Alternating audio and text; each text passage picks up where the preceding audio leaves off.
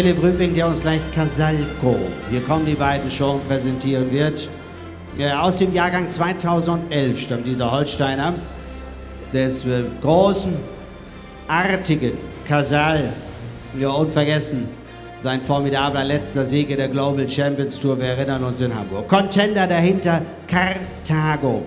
Ein echter Fohlenmacher und Leistungsträger, der das schon bewiesen hat.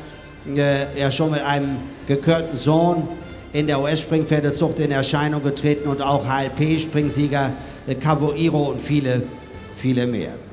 Der war. Siegerhengst, Hendrik. Ja, sage ich. Aber macht nichts.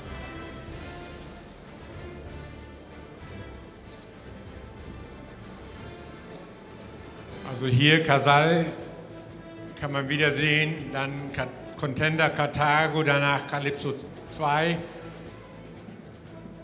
Also rein holsteinisch gezogen.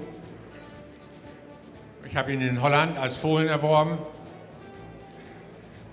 Ein Hengst, der wirklich alle besseren Holsteiner Blutlinien in sich verkörpert. Ingezogen auf C-Blut, laufend. Ein Hengst mit ganz großen Möglichkeiten aus einem Mutterstamm, wo ich glaube, dass äh, Karl Sall sich hervorragend vererben kann. Karl Sall, der der Holstein hochhält, der im internationalen Sport riesige Erfolge hatte und seine Nachkommen auch gut sind. Aber sie brauchen schon einen guten Reiter. Ich glaube, hier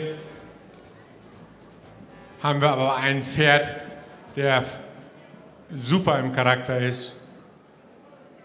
Und darauf habe ich bei Kasalblut besonders Wert gelegt.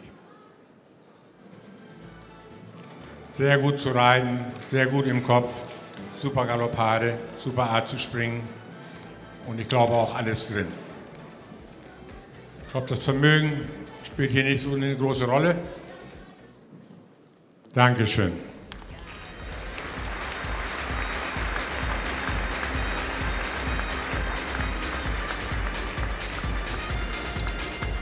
Auch die beiden schicken wir mit ihrem Applaus auf eine Abschlussrunde. Philipp Rübing, der Applaus, der jetzt aufbringt.